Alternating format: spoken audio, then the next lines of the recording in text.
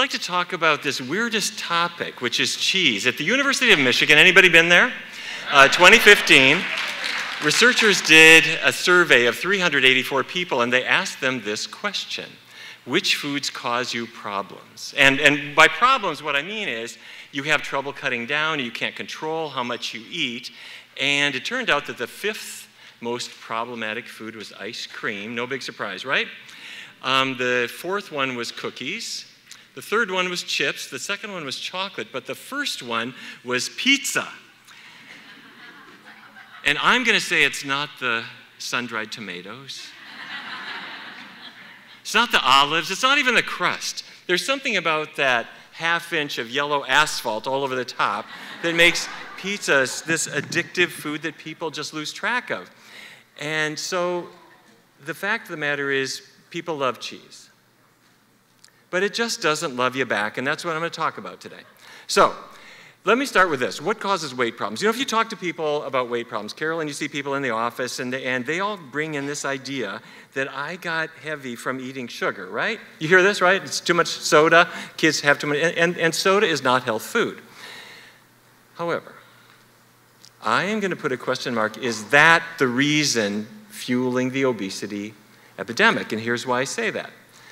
It was 1999 when soda consumption started to fall quite precipitously. And in fact, sugar consumption in general started to fall. And that's because bottled water came in in such a big way that it started pushing the sodas off the shelf. But here's cheese up and up and up and up and up. Um, the average American consumes 30, in 2017, it's, we're now up to 35 pounds of cheese. That's 65,000 calories worth of cheese the average American eats every single year. Okay, now this is very important. This is going to be on the test. Um, where are the calories in food? So, so all everybody who's worried about sugar, and again, I'm not saying sugar is health food, but a gram of sugar has four calories.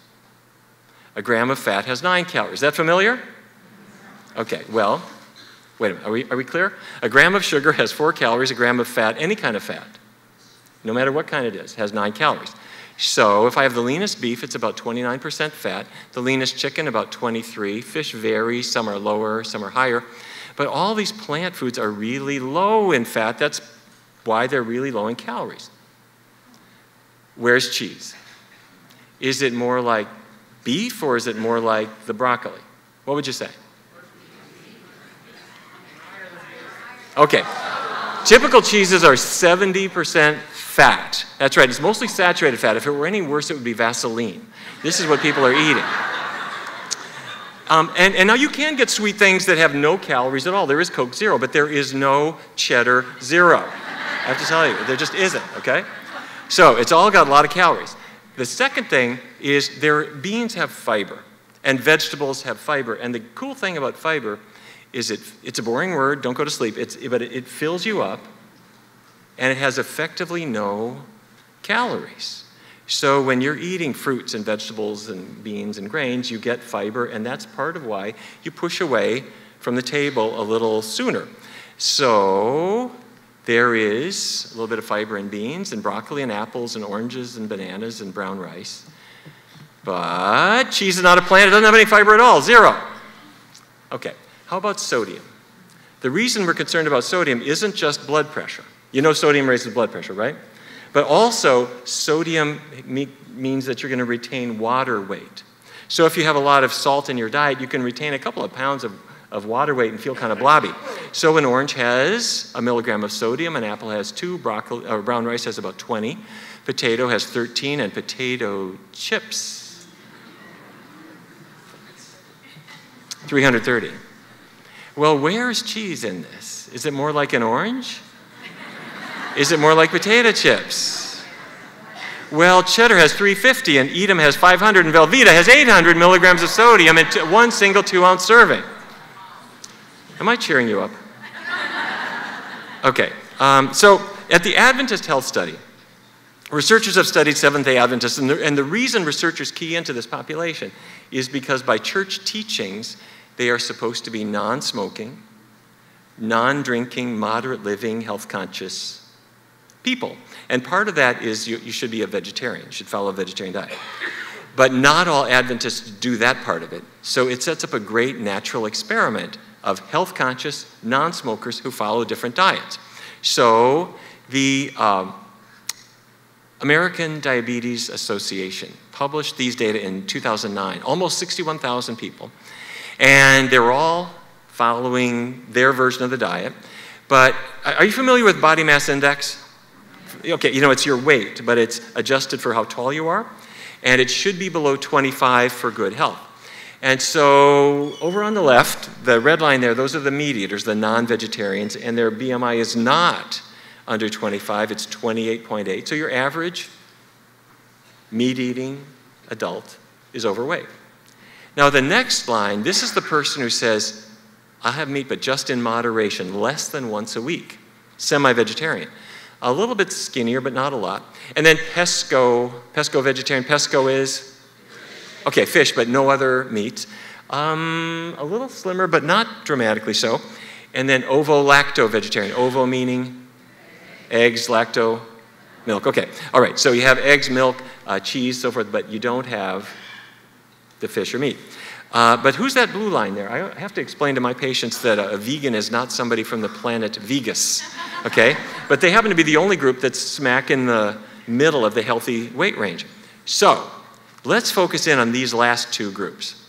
I am going to say that the difference between an ovo-lacto and a vegan is really the cheese and the dairy get, that gets thrown in there, right? Does that make sense? And if you do the math, that works out to be about 15 pounds difference. So the, the average ovo-lacto vegetarian weighs about 15 pounds more than their vegan friend who keeps encouraging them to get rid of the Velveeta. All right. So what is cheese anyway? Well, let's go to Theresa, Wisconsin. And the milk truck arrives early in the morning and they pour it in this kind of wading pool thing. And then they put in bacteria to ferment it. What bacteria do they use? Between your toes, there, there, are, there are species of bacteria called Brevibacteria, B R E V I. Did you have a college roommate who didn't wash for like an extra long period of time? And you would say, What is that? What is that smell? That smell is the fermentation product of Brevibacteria working on the dead skin between his toes and kind of fermenting it. You've had dinner already, right? Okay, so if I'm going to make my Limburger or my Munster extra pungent, what am I going to use? They don't use something like Brevibacteria. That's exactly what they do use. It's Brevibacteria, and if it smells like stinky feet, that's not a coincidence. Okay? So in go the bacteria, and then I'm going to add rennet. What's rennet? Anybody know what rennet is? It, it's an enzyme, right? Where does it come from? It comes from the fourth stomach of a slaughtered calf. And now people will say, I'm not going to eat that. That's horrible.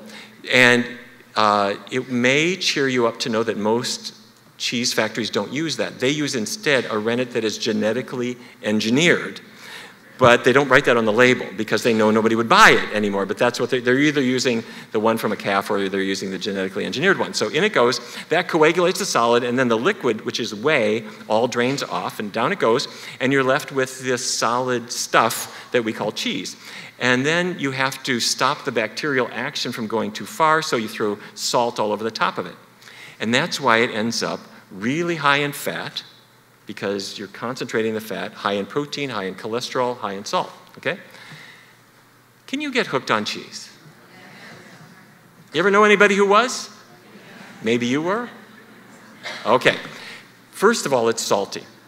Secondly, it's greasy.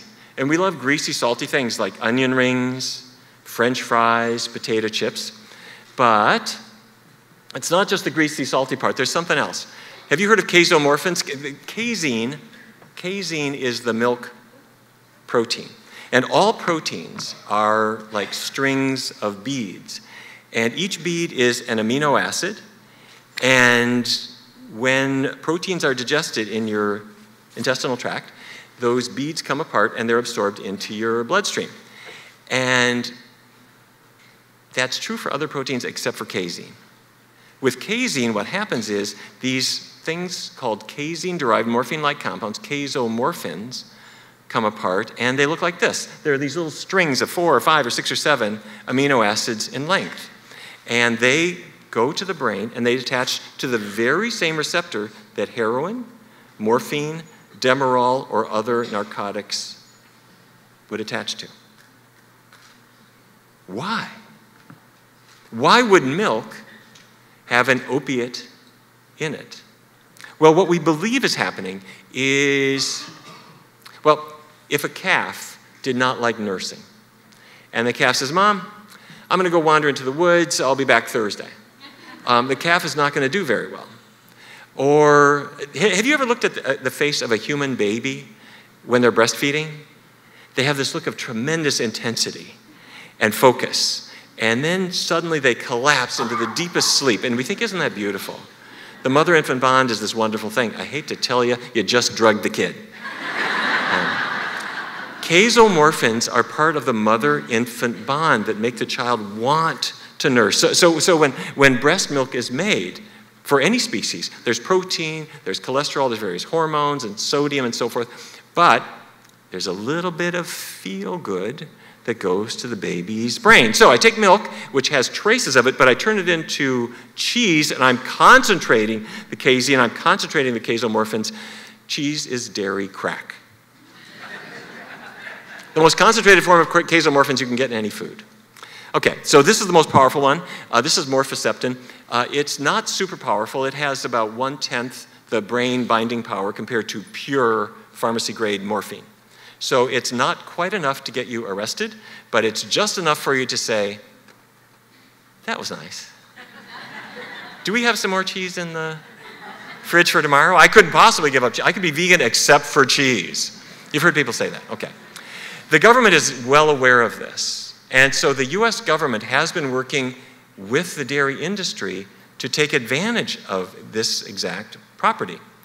And in the year 2000, the US government held, in cooperation with Dairy Management Inc., something called the Cheese Forum. And I want to show you some slides. These are not my slides, these are US government slides that I got through the Freedom of Information Act. Um, the government separated Americans into two groups. The cheese enhancers sprinkle a little cheese on their salad. Not interested in those people. The cheese cravers open up the refrigerator door, grab a chunk of cheese, and stuff it in their mouth. That's the group we want because they can be pushed to double or triple or quadruple their cheese intake. How do we do it? Well, first of all, our goal is to trigger cheese craving. And again, these are not my slides. The US government set out to trigger disordered eating, cheese craving, and what they did was not unleash a whole bunch of advertisements encouraging people to eat cheese.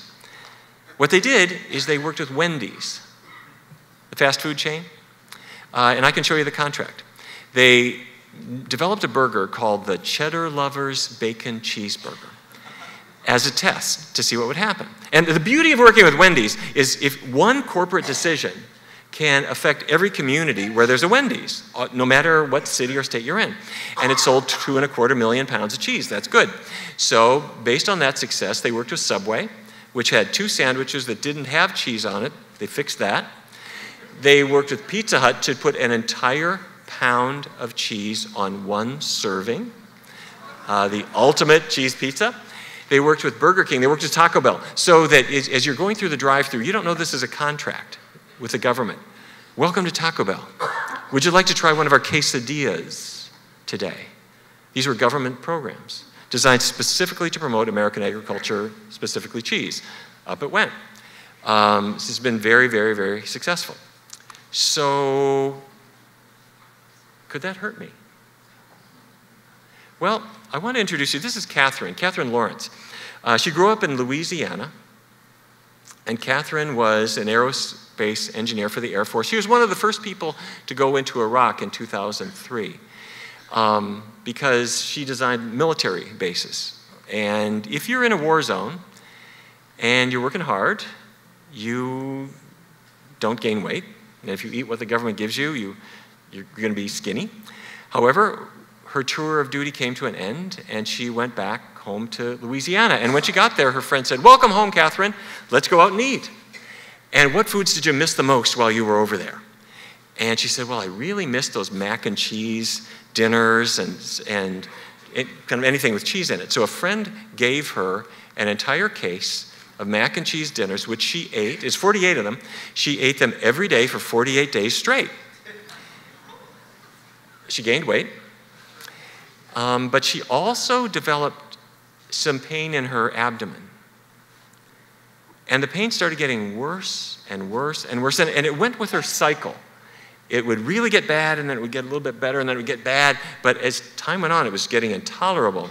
And she went to the doctor who did a laparoscopy. You put a little incision in the abdomen, look inside with a scope. The doctor said, You've got endometriosis. This is a condition where cells from the uterus creep out and start implanting all around the abdomen and it causes pain, it can cause infertility, and the treatment is you get your uterus removed. Um, she said, Well, I'm not sure that I want to do that because I'd like to raise a family. Um, but she and her husband talked about this and they decided to try medical treatments, which were not working.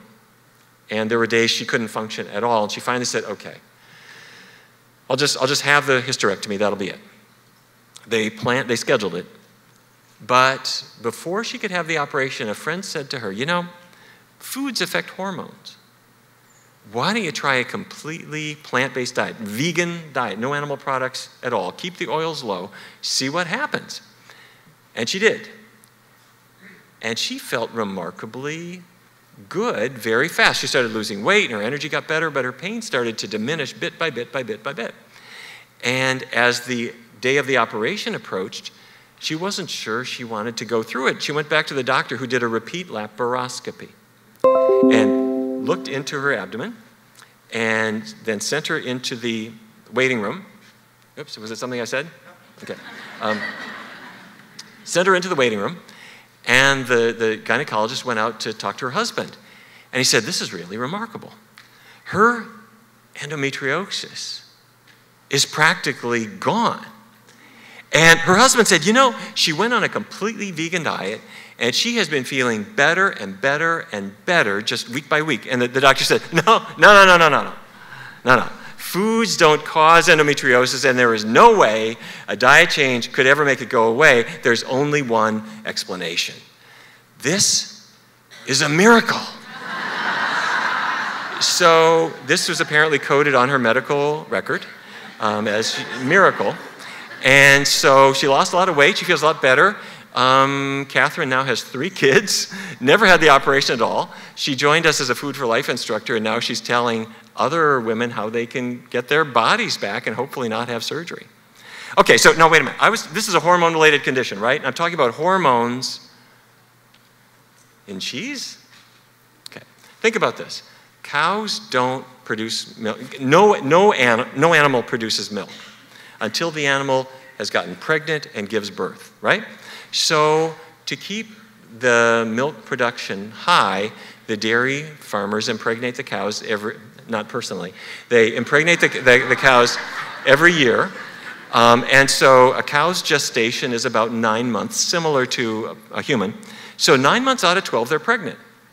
Pregnant cows make estrogen, it's a match for your estrogen. It gets into the plasma, there it is, especially as the cow comes to term. But then it goes into the milk in a little more concentrated form, and it's only a trace, it's not much. However, researchers in Rochester, New York went into a fertility clinic and they started doing sperm counts on various men. And they found this remarkable thing that the men who consumed the most cheese, that's the red group, had the worst sperm counts um, not just low counts, but low uh, motility and odd morphology. So the, the, their theory was it's only a trace of hormones, but what if a man has all the female hormones he wants to have, and you start giving him little bits of extra? Could that actually affect something like fertility? Hold that thought. Researchers in California looked at something a little bit more important women who had had breast cancer. If you've had breast cancer and you were treated for it, you got one thing on your mind. Is my cancer going to come back at some point? And it turned out that those women who consumed the most high fat dairy, that's butter and cheese, that's the group on the right, they had a 49% higher risk of dying of their breast cancer compared to the women who tended to avoid it. Now, the difference here is very small. The high group was more than one serving a day, the low group was less than half a serving a day. So these researchers said the same thing as the people in Rochester. Could it be that the traces of hormones in dairy products could actually affect a woman's chemistry? Now, I'm quite prepared to believe that the amounts are just small. However, when milk is turned to cheese, the hormones go with the fat. Remember, cheese 70% fat? The average American consumes 35 pounds of it last year, this year, next year. And your body is already making all the hormones that you are supposed to have, so to speak. And if I'm adding a little bit more, it could be there is no threshold. So, the scientists are still sorting this out. We don't really know where this science is going to go. But in, while they're figuring it out, do you want to feed this to your six year old son, your seven year old daughter, your wife, your husband? Um, that's the question that people are now asking based on this work. Okay. Now, it's not just the fat and the hormones, um, there's something about the protein. Uh, this is Chad. Chad grew up in Portsmouth, New Hampshire, right on the water, and he was an athletic young boy. Except that Chad could not get through a ball game because he had asthma. And asthma can be exercise induced, so right about the third inning, he'd be coughing and wheezing and, and, and couldn't play anymore. If he would go over to a friend's house and they had a dog, he would get uh, uh, allergy induced asthma and he had to be hospitalized repeatedly. And when he was 18, he had heard somewhere that vegan diets, and especially getting away from dairy in particular, could make asthma go away. Many of you know about this already. It's the protein they're keying in on, not the fat. He said, I'll try this. Went vegan within three months, no more asthma, no more allergies. And he's now got his own dog and he's got and he's raising his family and nobody has asthma.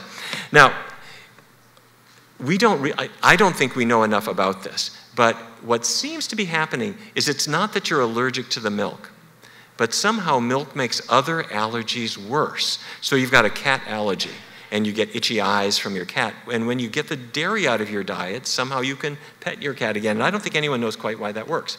So there's Chad now. He's um, allergy free, asthma free, and he runs, you know, Rouxbe, the online cooking school? He runs the plant based section of that. So, all right, so this raises the scientific question could dairy products contribute to asthma? I don't know. Let's have a look. Let's Google this, shall we? Uh, I'm going to type it in. There's asthma, dairy. Let's see what I come up with. Okay, there it is. The first thing I find is National Asthma Council Australia, and right on their homepage, they tackle this directly. Dairy foods have often been, aha, dairy foods have often been suggested as a common trigger for asthma. Hmm. But there's little scientific evidence to support this myth. Unfortunately, most Australians are missing out on the health benefits that come from consuming milk, cheese, and yogurt as they don't consume enough dairy foods in their. Wait, this is starting to smell a little funny, isn't it?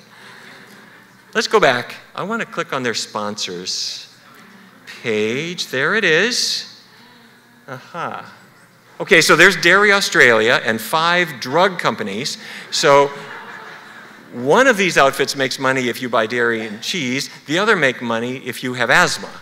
Nobody gets any money if you get better or stop eating dairy products, okay? So, don't wait for the research to be finished. If you have a child with asthma, if you have allergies, run, don't walk to a dairy free diet. It's not going to cure everybody, but it's a good place to start. Okay, the next thing I want to tackle, if you don't mind, I've written a number of books, and up until this one, I always focused on the health part of it. But for the cheese trap, I was really struck by parts of the, the animal part of it that I was unaware of. And if you don't mind, I'd like to share that with you. Um, the United Nations makes manuals for low literacy populations involved in agriculture. And so they have this dairy farming manual on how you can artificially inseminate your, your dairy buffaloes and cattle so that you can get milk. And these are not my pictures, these are United Nations pictures. But I want to show you this process. Um, this cow is about to get artificially inseminated. Again, this is United Nations guide on how to do it. What you do is you take a glove and you put it on your left hand all the way up to your shoulder, and you put your left hand into the cow's rectum and past your elbow, and then you can feel through the rectal wall, you can feel the uterus, and you hold it still. And with your right hand, you take what looks like a knitting needle and you put it through the cervix and inject semen that you took from a bull. And by the way, these animals are not volunteers, um, but they are not going to object. She is chained by the neck. Um, this is the way it looks. Um, and when she has been impregnated, whether she wanted this or not, you then write the date on her flank because she's going to have a baby. And nine months pass. And she does have a baby. And regardless of how she got pregnant, this is her baby. And the baby is in the hay in front of her. And the baby blinks his eyes or her eyes and looks up at mom, and she looks down at her baby. And she starts to lick the baby and clean the baby up. And you can see this bonding happening. And the farmer looks on and thinks, This always gets me. This is really something to see. Except the farmer then knows right away that if he allows this to proceed, he's out of business because that milk cannot go to that baby. The milk's got to go into a pail and be sold. So the farmer has an implement that takes care of this problem every single time. It's called a wheelbarrow. Um, you take the calf and pick the calf up, and you put her or him in the wheelbarrow, and you walk away. Now, there is no stronger bond in nature than that between a mother and her baby. And it doesn't matter what species you are. She objects, and she follows, and she nudges him, and she pushes, and she follows him all the way until a gate slams in her face and her baby goes off around the corner. And she stands in that spot and she calls out all night long. And the baby goes into a hutch like this. Now, if he's, if he's a he, he's not going to stay alive. He's going to be sold for veal because a dairy herd has no use for him.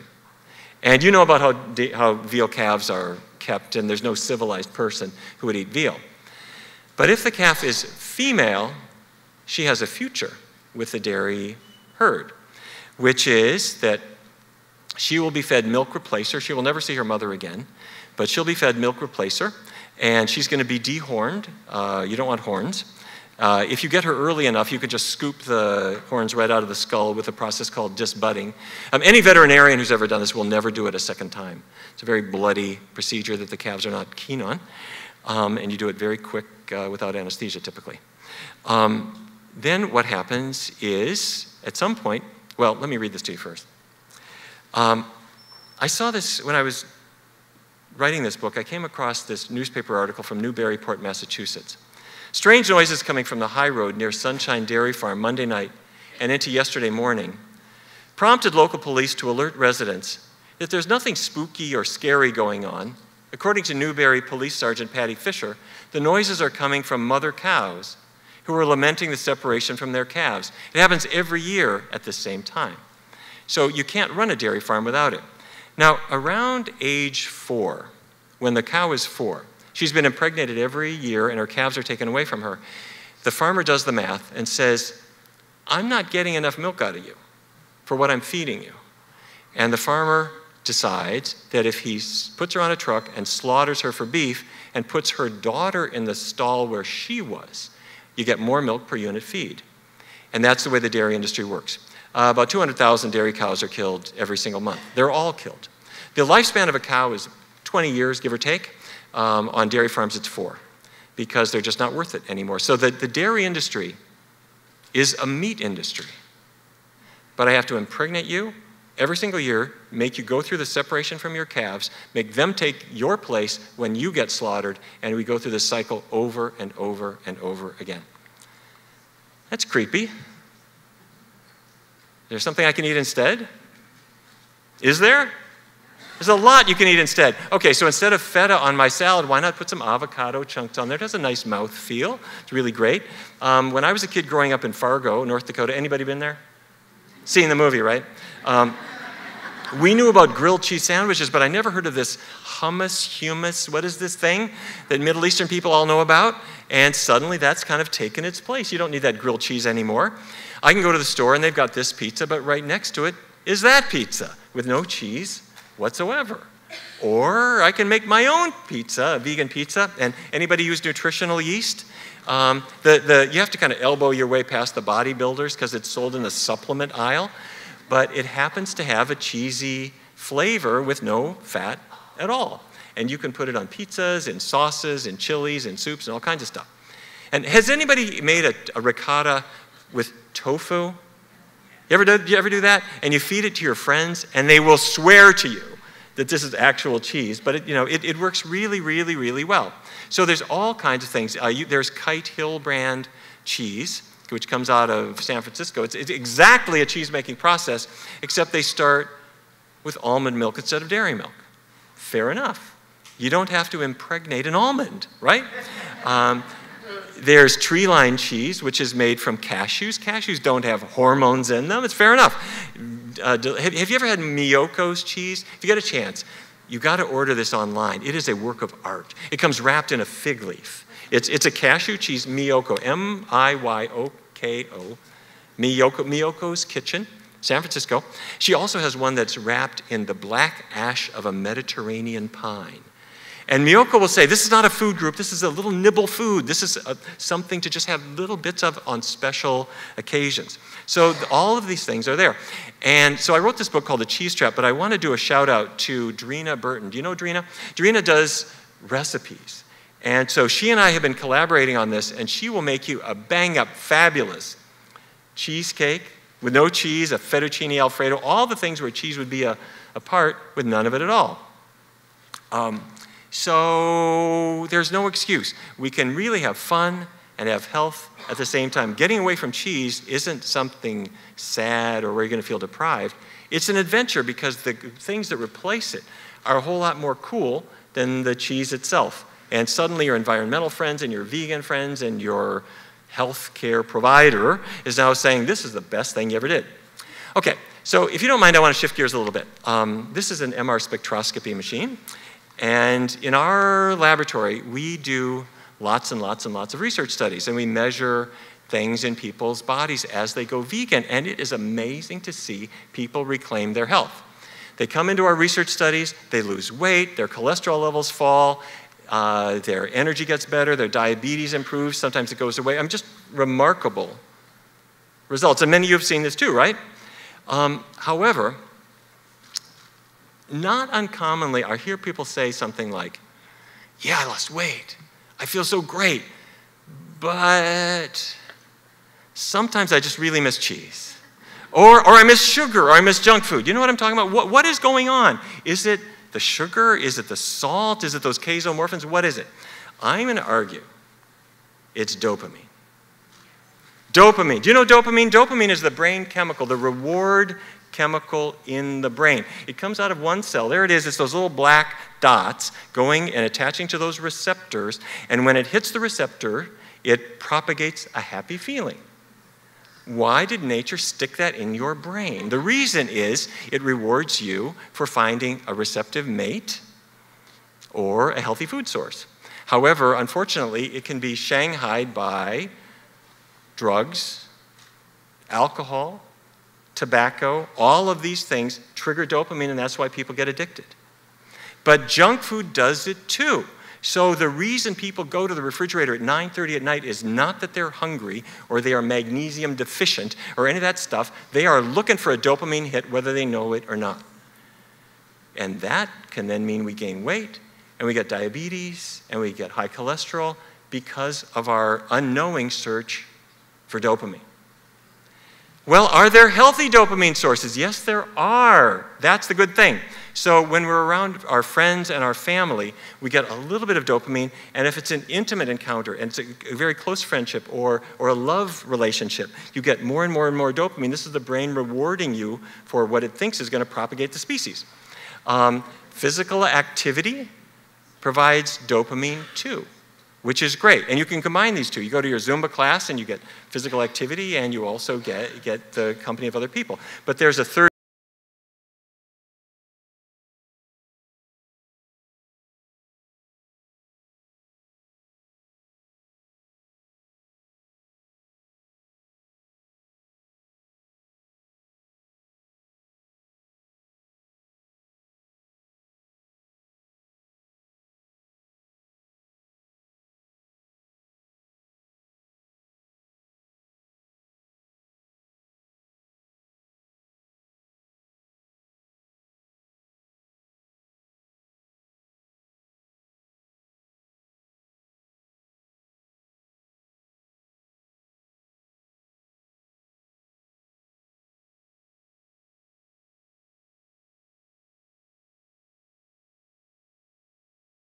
Now, the question is can music actually act as medicine?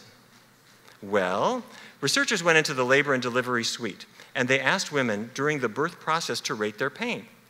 And their pain increased toward giving birth. They then did the experiment again and they gave them a little bit of a massage continuously during the entire process and they rated their pain less.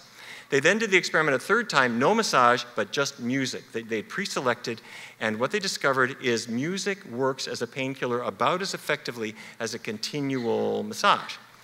So, the question is what can music actually do? Let's put it to the test. We're going to compare Beethoven to Velveeta.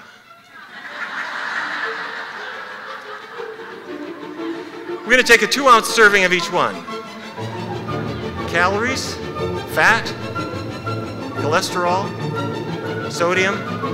I got to tell you, Beethoven is wiping the floor with Velveeta all the way through. As a matter of fact, I've looked at every one of the symphonies. A little louder. This is Ludwig van Beethoven. Every symphony, one, two, three, four, five, six, seven, eight, and nine. You add it all up. Zero cholesterol. Not in any of them. That's right. Okay, so could Beethoven compete with something like chocolate? Well, I don't know. You know, our taste buds are really designed for simple stuff like apples and not really for things like M&Ms. Um, even so, if I'm alone and chocolate is calling your name, well, if you're surrounded by friends, that's less likely to happen. If you're sedentary versus a person who's active, you've got a little more strength if you're active. If you're living in silence versus a person who's enjoying music and art, healthy dopamine sources give you a little bit of an edge over those addictive foods. So I wanted to, if you don't mind, share with you my own personal dopamine source. Um, when I was a little kid growing up in Fargo, my parents had the idea that any civilized person should play the piano and one other instrument. So I was chained to my instruments all, the, all during my childhood. Wasn't allowed to go to school until I'd done my lessons. And I stuck with it um, all the way through medicine, uh, medical school, and residency. And this is my current band which is called Carbon Works. And thank you. And uh, let me brag a little bit, actually. Um, there we are on the top 40 list a couple of weeks ago. Um, and as you'll notice, we're above Lady Gaga and Miley Cyrus um, with a song called Louder Than Words. If you don't mind, I'm going to play you two of our songs really quick. And those of you who have a little bit of an animal focus, um, the second song is about a little girl who is an animal person and she's got her stuffed animals all around her. But she wakes up and there's the rock and roll band in her bedroom. And the uh, guitarist in the band gives her a sword and turns her into a samurai, and she can break the chains to free her animal friends. And before that, I want to uh, show you a, a video of, of, a song that I wrote, um, all about kind of animals and who they might be on the inside. So turn up the volume a little bit and let me share this with you.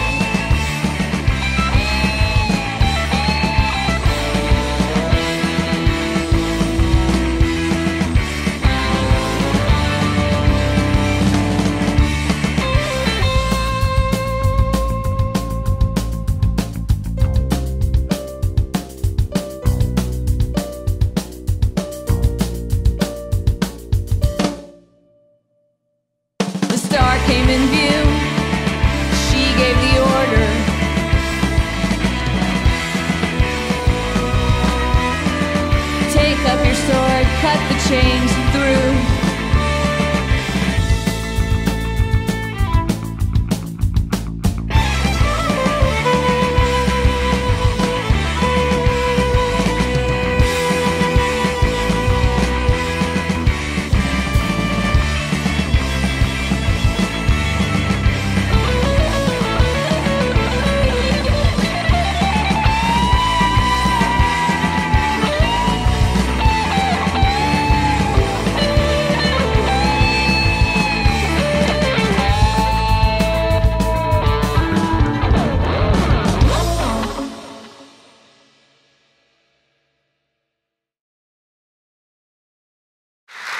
The last thing I just want to say is thank you to Paul for all the fantastic work that he does. Uh, thank you to Joel Kahn, Carolyn Trapp, everybody who's made this tremendous um, effort here in Detroit. You are a role model for every other city to follow. So thank you for letting me be part of this tonight. Thank you very much. Thank you, thank you very much. Good luck with all that you're doing. Thank you.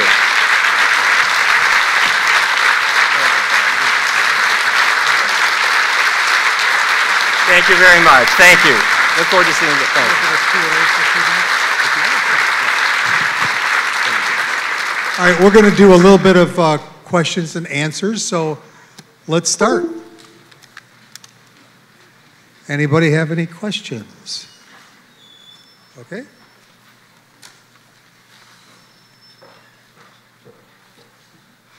Okay, I knew we'd start. Okay, here we go.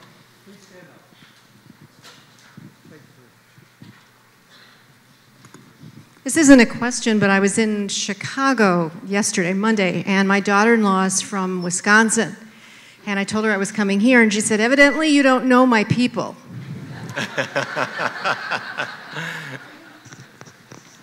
I'm with you.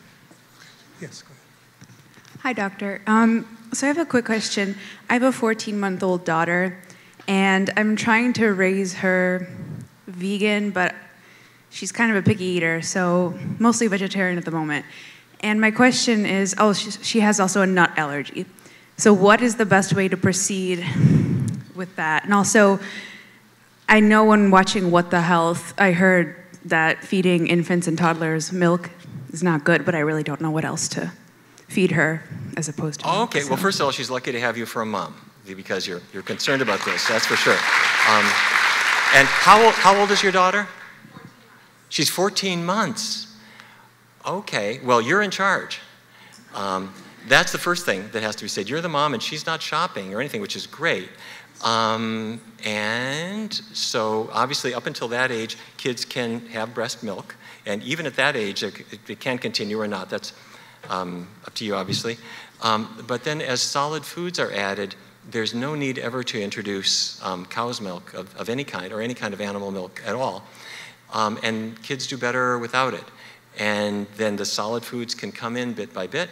Um, and there's just never a need to, to introduce animal products of any kind. But you'll want to make sure that she has healthy foods and make sure she gets B12 That's important. You want to stick with your pedi- don't fire your pediatrician. Um, but a plant-based diet is great for kids, and kids are picky. Um, but you'll try different things, and you'll find the, you'll find the things that, that she likes. There's never a need to introduce the animal products, and again, she's lucky to have you. Hi. I tried the plant based nutrition, but it affected my blood pressure even more. I already have low blood pressure, 95 over 54, but it's bringing it down into the 80s. Yeah. So It is- you're setting records for low blood pressure right there. But I feel it, I notice it now when it's in the 80s, so now it's, it's kind of a problem. So I have some arthritis going on, so I have to be careful with the salt because that causes more arthritic pain. Yeah, I, I'm with you. I don't really know what to say. First of all, you're the envy of everybody else who's tired of blood pressure pills because, because they got high blood pressure, they're trying to bring it down. You've got the opposite situation where you have a healthy and fairly low blood pressure that's, that's not, it's not dangerous to have borderline low blood pressure, except you stand up quickly and you feel lightheaded and that kind of thing. So um, the only suggestion I would have is obviously you want to work with your doctor to see if there's any uh, underlying issue, which you probably have already do- been doing, um, and then make sure you eat an adequate amount of food, get regular exercise, because exercise kind of helps the body to set the blood pressure. Typically, for most people, it brings it down, but it helps keep it in gear, and beyond that, it's, it's really between you and your doctor to sort out. So, yeah, good luck. Um, where were we? Hi, doctor. Would you briefly ad- address uh, osteoporosis in men, specifically the vegan diet, losing weight, uh, getting older, um, and then being diagnosed with osteoporosis as a result? Yeah, osteoporosis means, um, as everybody knows, the, the bones are thinning. And the usual thing that people think of is calcium. And, and it's true, you do need calcium, but um, the cow doesn't make calcium. So, so the doctors who say you should drink milk, there is calcium in milk, but the cow didn't make it. The cow, the cow ate calcium in plants. In the green, green leafy vegetables have a lot of calcium, so the cow eats grass, and that calcium gets into the milk. If, if we eat not grass, but broccoli, kale, collards, Brussels sprouts, that's our source of, of calcium. So you do need that, um, but there's obviously more to it. You need to be able to absorb it, and that's where vitamin D comes in, which normally comes from the sun. And if you're not getting much sun, then a supplement is good, up to about 2,000 international units a day. And if the doctor tests you as low, you can supplement higher than that. Physical exercise is really important at any age. Um, true for kids and it's true for older folks. So physical activity has got to be a big part of it, and that's kind of the the recipe um, for strong bones. There are some people who will say, I wouldn't worry too much about it because it's normal to have some give in the bones and they don't worry a lot about osteoporosis. Personally, I do take it seriously. Um, I think it is good to keep an eye on, but not a reason to return dairy to the diet, obviously. But it's important to have a good mineral rich diet with the greens and beans, especially. Yeah, sure. Yeah, hi, my name is Rick. Been a fan of yours forever. Uh, you've been on my bucket list to meet. Thank you very Oh, much. well, thank you. And I, I really Thank you. I'm glad that appreciate you all could the work that you've done in all these years. I just had a question. Um, do you know if there's any studies uh, concerning uh, relationship between plant-based diet and aplastic anemia? That's a fascinating question. I don't know. Joel, I'm looking at you. I don't, I have not heard of that. Carolyn? I would, I would say no. Um, there are other kinds of anemia, of course, like iron deficiency anemia if you're not getting iron, or you can, you can get low B12. These, these things are easy to, relatively easy to diagnose and relatively easy to treat. But for aplastic anemia, I would think no. Now I'm going to have to read the, on this tonight and see if I come up with something. But no, I have not heard of that. Okay. Anyway, thank you for letting me know that, and I'm going to think about that. Well, if you find it, I'll I give will you let my you know. email address and, and let me know Okay, good. Great right, question. Thank you. Thank you. Hello, I'm uh, Dr. John Pullman, a dermatologist in Clinton Township. I wanted to thank you again for the you know, great body of work that you put out, and I want to tell you it's had a tremendous impact on the way that I treat my patients, and uh, wanted to give you that appreciation. Thank you. Uh, They're lucky to have you. Thank you. In uh, your slides, uh, when you're looking at, you know, the mechanism of action of breast cancer association with dairy, you know, you focused quite a bit on estradiol. And I'd like to point out that, you know, uh, any kind of consumption of dairy cheese also increases IGF-1 produced by your own body. And, and there are many other mechanisms of action. Uh, so when you say, ah, this, these picograms of estradiol, you know, we don't want to think in a reductionistic way, you know, as, as some of our colleagues would think. You know, there are many different reasons, and uh, uh, you might you might also mention that just as it's not the only mechanism of action because well anyways that's just sort of a little bit of feedback yeah uh, well first of all let me agree with you you're, you're absolutely right in fact i would go a little bit further that i picked on estradiol but you can look at estradiol free estradiol and other estrogen fractions and they are all in the milk and they all go up and i just picked that one to be simple um, because it's one that people know about. But you're absolutely right. And, and then the IGF 1, if people are not aware of what he was talking about, um, animal milks have something called insulin like growth factor in them, IGF 1. And it's a growth factor, it makes things grow. And that's a good thing if you're a calf and you're growing, but it's a bad thing if you're a cancer cell in a man's prostate um, because IGF 1 makes it grow. Um, and if you inject the cow with bovine growth hormone, there's more IGF 1 in, in, in the, the milk and so forth. But um, the big thing, I don't think, is the IGF 1 in the milk. It's the milk itself. This cocktail, and I know you know where I'm going with this. The mixture of protein and sugar that is this milky cocktail causes the human body to make extra IGF 1. And we believe that that is one of the reasons why you see cancer cells growing. So you're absolutely right. So, anyway, thanks for so, raising that. Just as a mnemonic that's helped me remember this, I, I try to remember milk, it grows a cancer good. I can finally, see the ads one, right now. Great, thank you for sharing that. If you're, I'm allowed, you're just absolutely one right. suggestion: if, if next time uh, you bring your guitar, you could guitar along to your own video. I, I think I, I, I think only if you join me. You know, thank you. Thank you. Only if you join me. Great, thank you. Uh, time for a couple more questions, and then we'll uh, stop. Yes, Neil, please. hi, Bob Breakey from Ann Arbor Family Hey, Doc. good to see you. Yeah, yeah, I saw your talk, uh, same one uh, last week in DC. Thank you. You're always an inspiration. Oh, I too use your handouts uh, every day with my patients. Um, you mentioned that in the cheese making process, the whey is kind of a, a pushed aside. It's a byproduct. So the industry has learned how to put this into a protein drink push for, for athletes. Is this really a, a health food for them now or a byproduct that they should avoid. Oh, isn't it the most amazing thing? Whey was thrown into landfills. They were, it, it was a big problem because you had a cheese factory and you don't use the whey for anything. And so um, the neighbors would complain, and it was a big issue. What do you do with all this whey? And so they figured out if you desiccate it and put it in a, a can, and you have an ad with a guy with muscles on it, and um, and you fund some studies showing that it somehow causes a magical effect, people will pay a lot of money for your garbage. And it's, that's what's happened. And it's, it's really marketing. Um, more recently, the dairy industry is doing a similar thing with chocolate milk. Have you seen this? If you've got high school kids who are in, in athletics, it's the best thing, the best recovery drink is chocolate milk. The very thing that's been pushed out of high schools, they're now saying, no, no, it's got the sugar that kids need, it's got the protein. And it's, I got to tell you, marketing is an amazing force. Okay. Where are we? Okay, yeah. Uh, time for two last questions? Very good, sure. Okay, good. Thank you, Doctor. I pre- love your lecture. Oh, thank you. So I am um, the grandmother of five children under five. And my kids are, my sons are both physicians, so we're not far from this world.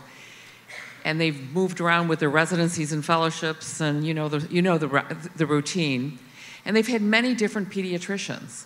Every single pediatrician tells my, my daughter in laws usually that it, how important it is for these kids to drink milk. Why isn't this in the, in the, uh, in the educational system of physicians to not, to not push this? Uh, yeah, let's all pause and take an antidepressant. Um, um, it's, it really is true, unfortunately, that, um, and this is true in medical school, and Carolyn, isn't this true in nursing school too? It's also, it's even a little true in dietetic school sometimes, that you really don't learn the nutrition that counts. Um, and so a doctor who has really had very little nutritional training, and when they get it, Joel, tell me if this is right, they show you the vitamin C structure and they tell you a story about sailors getting scurvy, but they don't tell you anything about how to raise a healthy kid. Um, and, the, the, the, and the role of nutrition.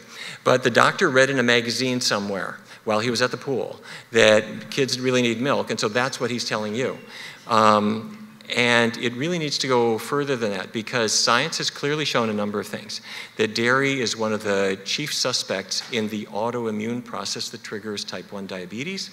Big cause of allergies, big cause of, as we talked about asthma, um, and many autoimmune conditions and sensitivities that may or may not be autoimmune, like migraine and whatever, plus the fact you just don't need it at all.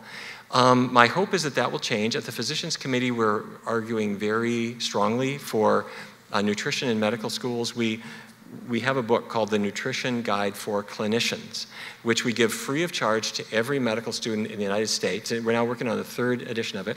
We have curricula, um, we have continuing medical education credits, and as you were talking earlier, we have a, a uh, conference every year, which we just had last weekend. We had 700 doctors and medical students come. So, so things are not so hot right now, but we're working really hard to try to get the information out there. And I'm optimistic um, for, for two reasons. The first is there are a lot of doctors going in a good direction now. And the second thing is there are so many patients who are insisting on it and are educating their doctors in turn. So I'm, i think that um, things are going to change for the better. At least I hope so. so uh, one last question. Where are we? Okay. Hello. Um, yes. I actually, there were a couple of things I noticed in your book um, that there were. There, it looks like a lot of the recipes are very like nut centric, lots of cashews, and I think some of the stories had a lot of people eating with oil in their diets, and especially for someone like me who am working on obesity, um, how you feel uh, that is that works into a plant-based diet. Is that still good to do? And also, um, if there's any research on plant-based diets assisting in any way with osteoarthritis? Okay. Um, first of all, with osteoarthritis, you would think no. You would think diet wouldn't have anything to, would not have anything to do with it, because osteoarthritis is the wear and tear arthritis. That said, um, you do seem to see diet, diet changes. The, the, the simple one is that when people lose weight, the pressure is less on their knees, and so there's less, um, less risk of developing osteoarthritis changes in the knees. But even the, for reasons I can't explain, even in the fingers um, and other areas where the weight shouldn't make any difference, you see uh, improvements and reductions in osteoarthritis. Um, with regard to the recipes, when I was working with Dreena, I wanted some recipes that were really healthy that you would never have to apologize to uh, about it all. Uh, but I also asked that we include some cheese methadone in there, um, meaning. If you have a friend who loves a really fatty cheese and you're trying to lure them away, I wanted to have some recipes like that in there. So um, if you're trying to lose weight or deal with diabetes or something like that, stick with the ones that follow the guidelines, which we've talked about a lot, which is keep the fat really low. But the choices are there, and you're going to hopefully see the ones that really work the best for you. Okay, let me um, stop at that point. Thank you again, Paul. Thanks to all of you for doing what you do. Thanks a million. Thank you.